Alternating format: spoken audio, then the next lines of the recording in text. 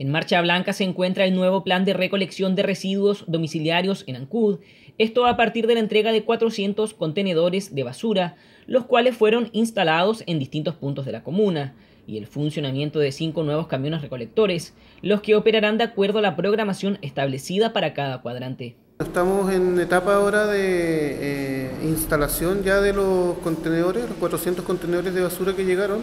ya hicimos la parte de participación ciudadana con todos los dirigentes, el alcalde, la administración, la empresa de aseo eh, y estamos en la etapa de, eh, instalación.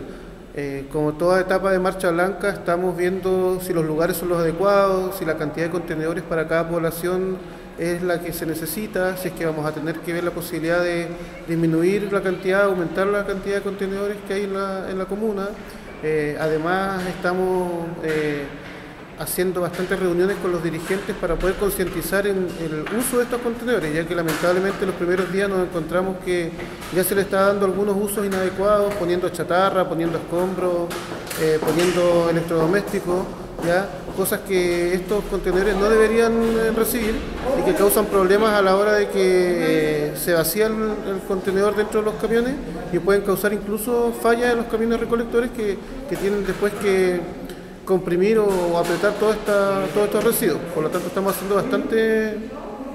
eh, talleres de, educación con las juntas de vecinos, con los SECOF, CEFAM y en los distintos lugares de la comuna. Al mismo tiempo, el funcionario indicó que el municipio reactivó el retiro de escombros y residuos sólidos que no pueden ser retirados por las vías o conductos regulares de extracción. Implementamos nuevamente o reactivamos nuevamente el tema de las tolvas para chatarra y escombros los días sábados ya eh, tenemos cuatro lugares identificados que se van turnando sábado por medio, donde tenemos puestas chatarra, o sea, tolvas para chatarra y otra tolva para escombros. Eso es desde las 10 de la mañana hasta alrededor de las 5 de la tarde o eh, hasta que se llene esta tolva. ¿ya? La idea es poder darle la posibilidad a los vecinos de que puedan botar su chatarra, su,